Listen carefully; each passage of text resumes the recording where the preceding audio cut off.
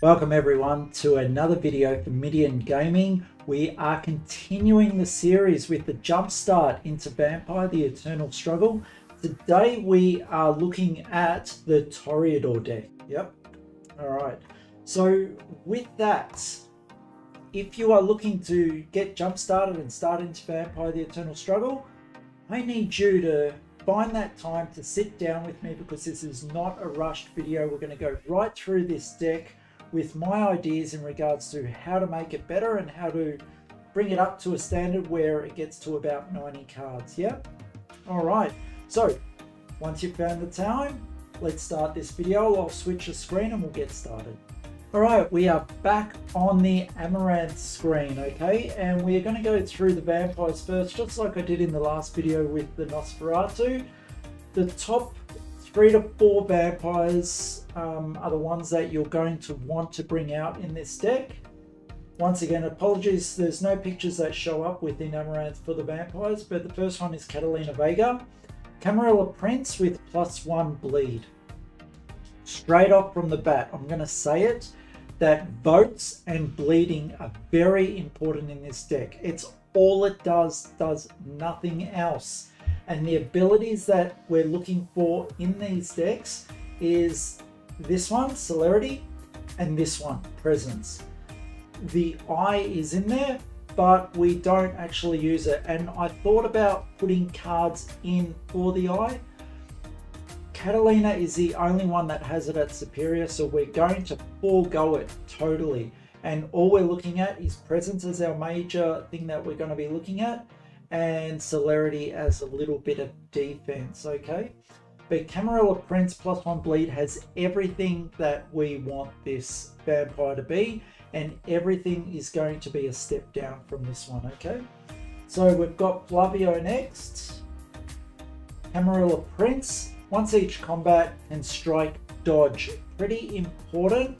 We're going to be using Flavio in those instances where we're not sure whether they can block or not, and we're taking it with the chance that we'll be able to strike dodge. Now, if you are coming up against some Immortal Grapple decks, this is going to be a problem because won't be able to dodge, can only do a hand strike. So just keep that in mind when you're looking at the table. It's not just what's in front of you and what you've got in your deck. You have to make those decisions about what happens on the table, who is where. If you're surrounded by combat decks, that could be good or if there's an immortal grapple deck right there it's it's a bad thing. Yeah we're gonna have to look at other means to get stuff out or maybe Flavio's mainly used for the prince votes yeah? Now, I'm not sure how to pronounce this. McCall Kelly uh, Prince of Cape Town. It's just another prince with advanced presence is what we're looking at. So all three of them have advanced presence and then we've got to Timosius uh, has advanced presence and advanced celerity. So very much in there for that. But the first three vampires, there's two of. If you were going to look at changing the vampires up, you might see the average of these. You've got an 8 cap, a 7 cap, and a 6 cap. If you're putting in more, more copies than them, the average of your vampire cost is going to go up. Now there are other ways to tackle this. We could add in extra action cards to actually bring that level down a bit. But for now, we're just going to stick with it. But I will say that if you are going to up the numbers, bring Catalina up to about four. You, you won't see four in the opening crypt. Uh, if you want to be careful, then three. Flavio maybe to three. And McCokelly maybe to three as well. Yep, that means you're dunking three other vampires from this. Probably Nick Sicko and Mincio uh, have to go in that respect. Brett Striker is a very good vampire for you because has advanced in both of the abilities that you're going to use and he's only a 4 cap. So you want to keep uh, Brett Striker and must maybe forego Massimo in this respect. Brett Striker is perfect for this deck and at a 4 cap as well. All right, let's go on to the other stage where the library cards are, where we've got 13 cards that we can fill out a deck. Now, we'll say straight off the bat, this is an extremely good deck. based on by itself with 77 cards and um, mix up the vampires a little bit by including maybe another Catalina Vega in there. The deck itself is very solid. So let's go through the cards to see what makes it solid, whether we would take anything out, and then go over my ideas on what to add, yeah? All right. So, Art Museum. so, Art Museum, all these are master cards. Lock during your influence phase to add one blood to a Toreador in your uncontrolled region straight off the bat, this is giving you an idea of where this deck is going to go. It is going to be a boat deck. It's going to be a bloat deck. It does not want combat. It will bleed when it has to, but it's going to bloat like crazy and then come over with a range of vampires and really lay the smack down in regards to your blood pool. So when you are against this deck, you really need to be managing your pool, understanding that this deck can just put a bunch of stuff on a table and then come across and quite hard. You might only have one turn to prepare for it. Not much. Creepshow Casino, a personal favorite of mine. It is a little bit expensive at two, but it gives plus one stealth on non-directed actions. And this deck is full of non-directed actions. If it ain't bleeding, it's going to be all undirected and it does it well. So having the extra stealth on this is yeah, very, very good. And this is one of the cards that I would consider putting an, a second copy of, just to make sure I got it out in the deck as I'm taking the deck up closer. You know what? if this deck stayed at the this low amount of 77 cards, I wouldn't mind taking it to 78 just to get the percentage of the Creepshow Casino up. That's how important I think this card is to the deck. Listen, the, the Palace of Versailles. Hmm, sorry about my voice. Jeez. right, during the referendum of a political action, you may lock this card to give one additional vote to each ready titled Camarilla vampire you control. This is fantastic. If you've got three vampires out, all Camarilla princes who have got two votes each, all of a sudden they've gained one vote on each one, another three to the table. That is huge. It's amazing. So don't underestimate this card. If you can sudden reversal it, do it. You don't want their votes going off, especially if you've got a, a vote lock on the table with other people on the table as well. If you allow this deck to get the votes, it's going to go crazy and it's going to be hard to stop. Society Hunting Ground, probably another one that potentially look at two for in the deck, taking out to 79 cards. Obviously gives a blood to a vampire you control um, during your untap phase. Remember, this is going to bloat. You're going to have abilities to take blood off vampires or your vampires are going to use to attain more pool for you. And you are just going to get that up. Your predator is going to be bleeding you like crazy. But you know what? Most likely they won't be, be able to bleed you hard enough. And you'll be like i'll take the bleed. I'll take the bleed. I'll take the bleed. You'll be laughing. You know they might bleed you for three you'll be gaining three or even six or even more during a turn. You don't care, just as long as your vampires are fine, they're not attacked, they're not getting into combat. And yeah, fantastic. It's going to take a very heavy bleed to bleed this deck out if it gets going. Okay, Toreador Grand Ball. Now, this is a pretty neat card. Choose two ready Toreador you control the first Toreador's non-bleed actions cannot be blocked. This is deadly. Another card which will probably have two of, taking us up to I think 80 cards now, okay?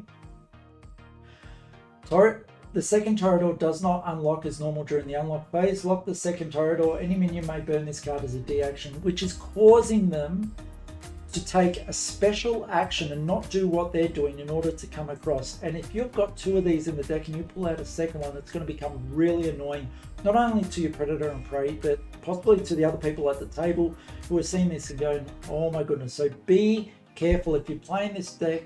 Don't start your enemies too quick. Yeah, don't have people worried about you. Maybe it's more viable just to be sitting back and building up, waiting for someone else to be a threat and for people to start looking at them and then just go boom hit the table with what you've got and then just start going. It might be too late for the rest of the table. Okay. All right.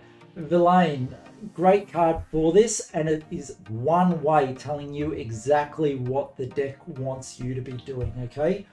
So put this on a vampire you control who has any amount of blood and move 2 to 5 blood from that vampire to your pool.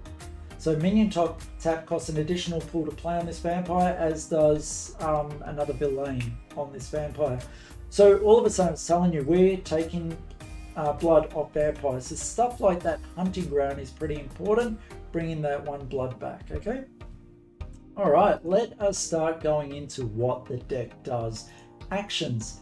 Now, you've got six of these, uh, yeah, six of these in the deck bleed with plus one, but at advance, which your a lot of your vampires do have, add two blood to a younger vampire in your uncontrolled region. So don't make the mistake to start locking a vampire without understanding what vampires you've got. And you know what? It might be worth using one of your all four of your transfers and one pull in order to get more vampires out because this card is what's setting up your bloat action to get more stuff out in order to set your, your board up and just go straight for a, a massive bleed later on, okay? So it's at a plus one stealth action, add two blood to a younger vampire in your uncontrolled region. During your transfer phase, if you're not giving it up to bring a vampire out, you use your four actions to take those two blood off and put it there. Or use stuff like this to bring out your other vampires, yeah? And that way you're not costing your pool. This is fantastic card. You can see that it's got six in the deck, and if you were increasing deck numbers, I would take this to eight. Okay, so at the moment we're sitting at about 82 cards. Haven't really taken anything out. Yeah, so action modifiers. Now all of these are based most likely on presence, so let's take a look at them and get a great idea as to where we're going with this. All right, at minor, it's plus one bleed with an additional plus one bleed if this vampire is a Toreador, or plus two bleed with an additional plus one bleed if this vampire is a Toreador. So effectively getting a two or three bleed from this card for the cost of one blood from the vampire. Wow, you know, and if you've got your table set up with quite a few things on the table and they come across, each one could be doing Aire of Elation. Oh, that's that's scary, yeah? As an opponent, you hope that you've got enough bounce in your hand to actually send that across. Bewitching Oration. This vampire gains plus two or at, at plus four at advanced, yeah? So straight away, the votes are going to be coming up on the table and this deck is wanted to be getting the votes through. While it's taking those actions and if it's looking to be blocked, unlock this acting minion and the action ends unsuccessfully. The minion cannot perform the same action again this turn. However, other minions can perform the same action. This vampire can do another action. It can bleed. It can call another type of vote. It can um, do another uh, enchant kindred if it didn't do it on the first attempt. So there's so many things. Do be aware that if you do have the change of target in hand, maybe you want to be doing an ability just to get the opponents to react. Just so you can use change of target and do the particular action that you were really wanting to do and that you force them to use cards against something that wasn't as important. So maybe Enchant Kindred is something I wanted to really get off. So maybe I went and called some random vote just to get them to stop it so I could do an Enchant Kindred because that was my real aim to do that, yeah? Perfect Paragon. This vampire gets plus three votes and allies and younger vampires get neg one intercept. A pretty useful card. Once again, those plus three votes. Wow. And voter captivation. This is all where it comes in, all these extra votes. The acting vampire gains X blood from the blood bank, where X is the number of votes by which the referendum passed. You've got a 6, 7 or 8 cat vampire on the table. You have gone and you've gone and played Villein. You've taken 5 blood off that vampire into your pool. That vampire then, with Creepshow Casino, goes and casts a vote at plus 2 intercept. They get the votes on the table. They're gaining blood it's called Consanguineous Boon. We're going to be coming up against it or coming up with it soon. They do a Bewitching Oration to gain another plus four votes, let's just say. They maybe even get a perfect Paragon out there and get another plus three votes. They're up by about plus seven on the vote count. Then they do a voter captivation. Look at that. So the vampire gains X blood from the blood bank, where X is the number of votes by which a referendum passed and that advance as above, but move two of those blood counters to your pool instead of the vampire. So your vampire is back up to full, and you're moving two. you're moving two of that pool to, or two of that blood to your pool. So yeah, it's this this deck really bloats. It's fantastic. And if you like that type of control type deck that um, you're going to be going nuts on with a bit of um, rush, then or rush in regards to the opponent's pool, then maybe this is the deck for you. It is crazy deck. And when I see it hit the table, I warn everyone, make sure that doesn't get going. As soon as we start seeing actions, they need to be blocked. We need to hold the deck up a little bit or punish it. Resist Earth's Grasp. Okay, this is the only time that I see Celerity being used. You can either use it for plus one stealth at advanced or press or maneuver with one optional press. So in combat, if you're up against the uh, grapple decks, you want to be using this at the minor. You want to get to that maneuver and maneuver it out to long. And you want to use the optional press to stop combat. So that is a real concern. If they're coming out with a combat deck and they want to at close, you move to far. All right, they might throw something at you like a thrown gate or a sewer lid. You hopefully should survive something like that. Then they go to press to continue combat. You've got that optional press to stop it. So they're going to need a second press in order to keep that combat going. So it's a little bit of protection. This is the reason why it's in there. Are there better options? Look, at the end of the day, you've got eight of these in your deck from the base deck, and you don't want your vampires in combat. So I think it's enough. Go with it, see how you go. Scalpel Tongue, this is great. Choose a vampire who has cast votes or ballots in this referendum. The chosen vampire is locked and abstains. As above, and the vampire burns one blood if you've got both abilities. At advanced, you're only using it for the basic presence and celerity and it increases your votes in order to play the voter captivation as well as to get the vote off. Yep. Very good. If I was coming up against, or I knew I was coming up against another vote deck, I'd probably put in delaying tactics, which we'll go through in a moment. All right, the political actions. Consanguineous Boon. Choose a clan. Successful referendum means each Methuselah gains one pool for each vampire of the chosen clan they control. So you want as many Toreador on the table as possible. Yep. Kine Resources Contested. Allocate four points among two or more Methuselahs. Successful referendum means each Methuselah burns one pool for each point allocated. Now, if you are just doing this to get a voter cap off, you need to make people around the table want to agree with this. So you might help another Methuselah out with a vote like this just so you can sneakily get off the voter captivation and get pull yourself. This is not always used to hurt your prey and predator, so just keep that in mind. Parity shift. Choose a Methuselah who has more pull than you do and allocate three of their pull between one or more of the other Methuselahs, alright? Another chance to get something off and help, help other people help you get what you want. Yeah. They may not they might not see the end game of what's happening, but as long as they're getting a boon from you in this regard, you know, why not? They just might throw you some votes to help you along. You've always got to have the card in your hand. There'll be people say, no, don't like bring the votes closer together and that. Something like this, you might not even care if it gets off or not but it is interesting for the political stand of the table.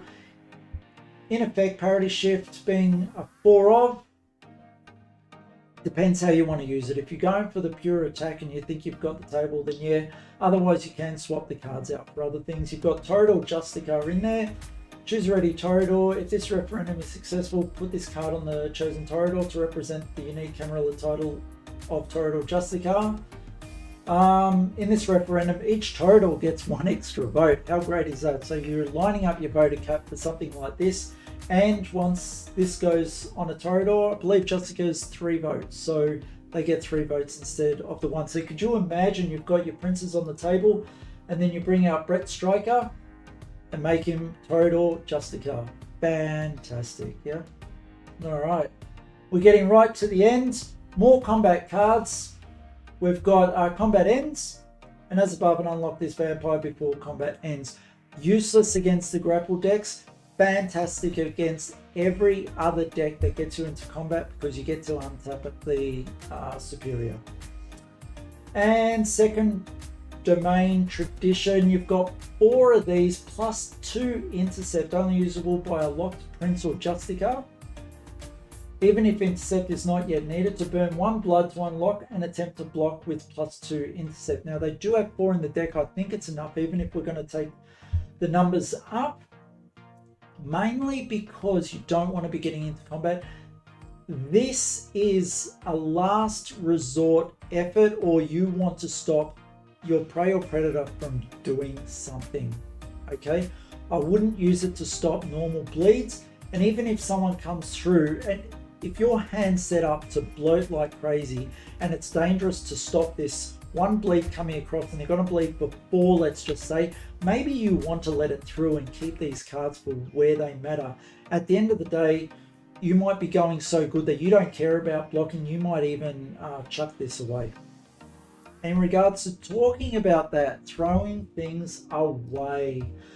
Look, we're up to about 82 cards. We can put eight more if we really want to.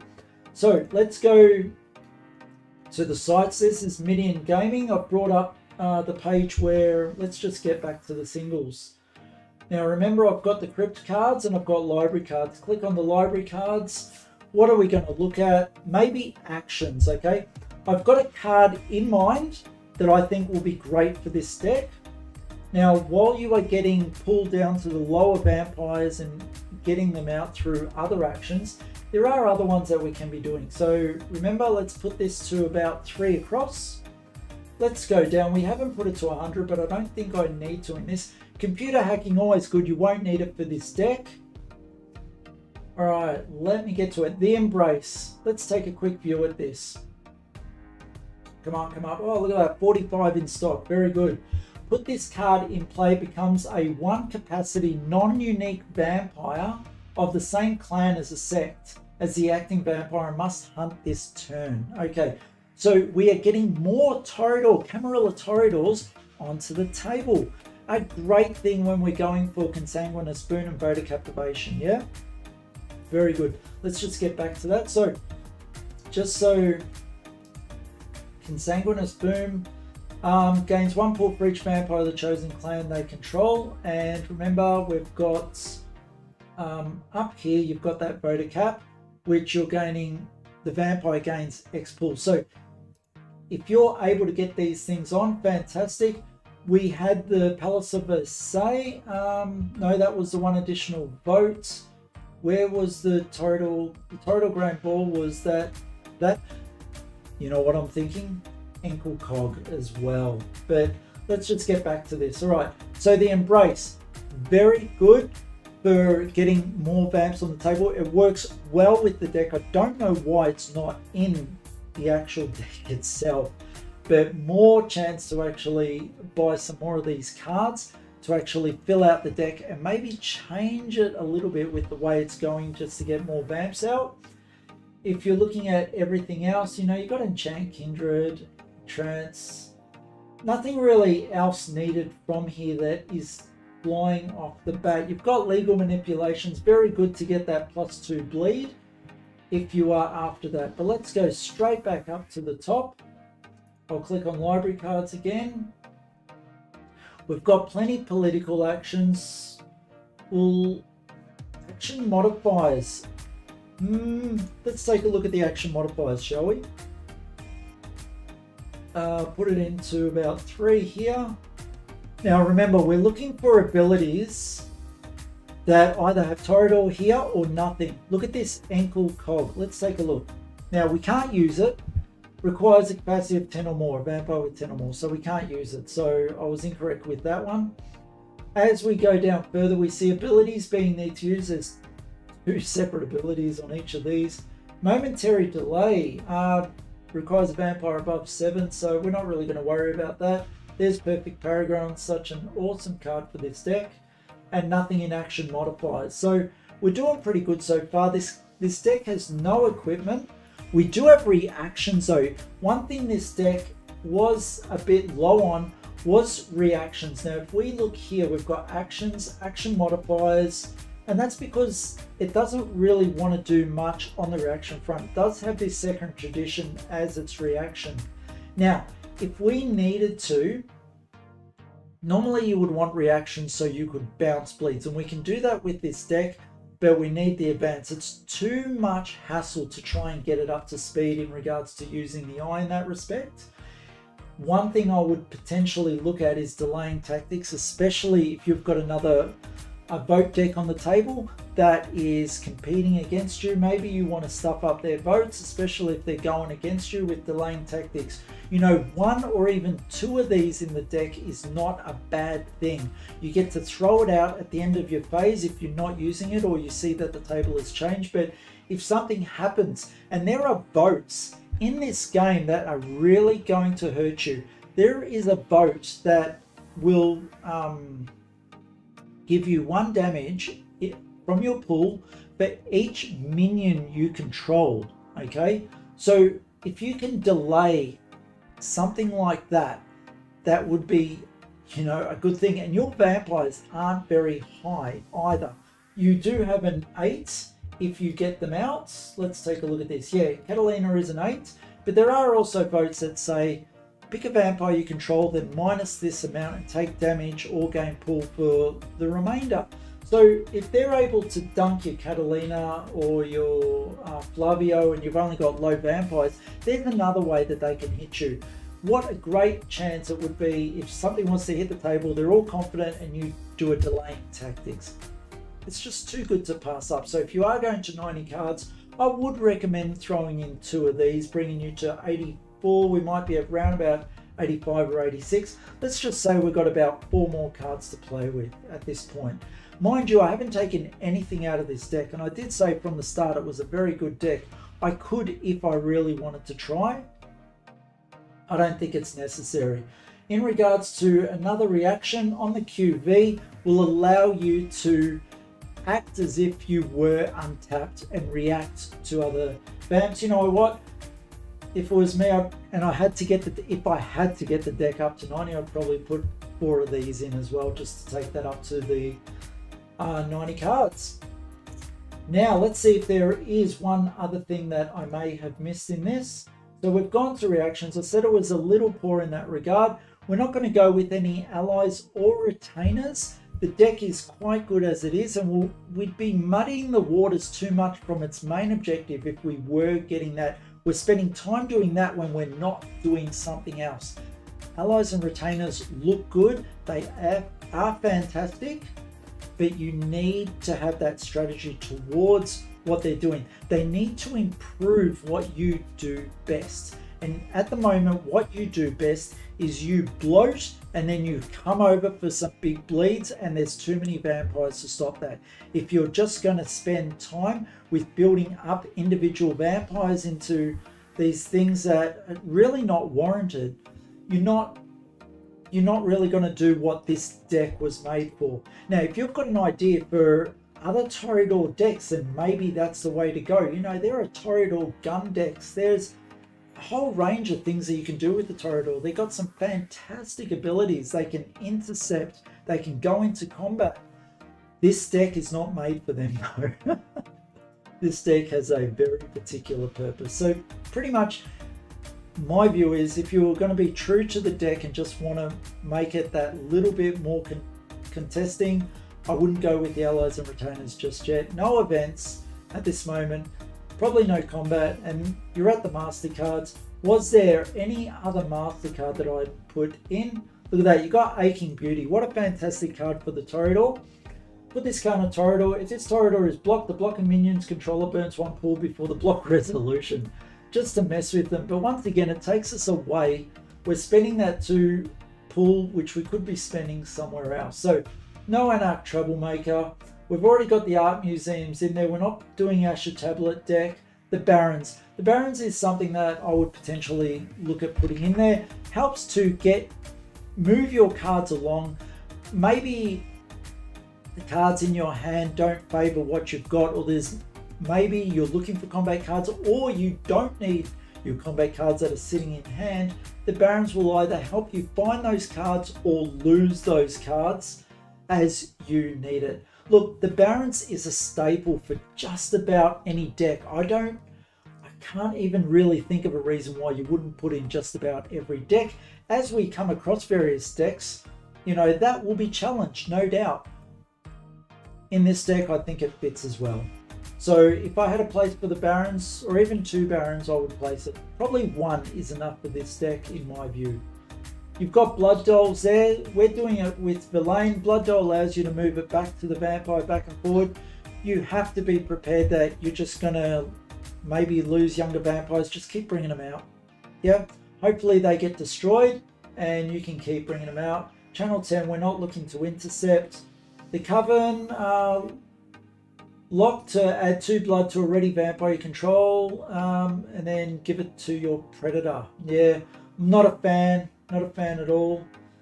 And looking through the rest, look, some of these cards are pretty good. Look at that, Outer Library giving you a plus one hand size. Once again, who couldn't do with more cards in their hand, yeah? Maybe one Barrens, one Outer Library.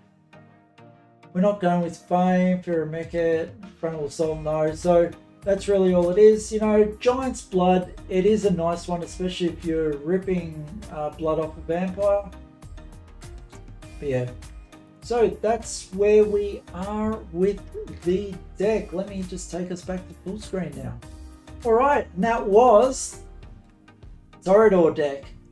Hope you enjoyed it. Look, in the comments, put down anything I may have missed or your ideas on um, how to make the deck better based on the cards that are currently available. And do understand we are getting new cards coming out, which is really exciting. Can't wait to be doing videos on them. Uh, if you liked the video, give us a thumbs up. If you didn't like it, give it a thumbs down. It really doesn't matter. And if you do enjoy the channel and want to support us, just click the subscribe button. Means a lot to us, and it's only a second of your time. See you all on the next video. Have a great one, guys. See you all.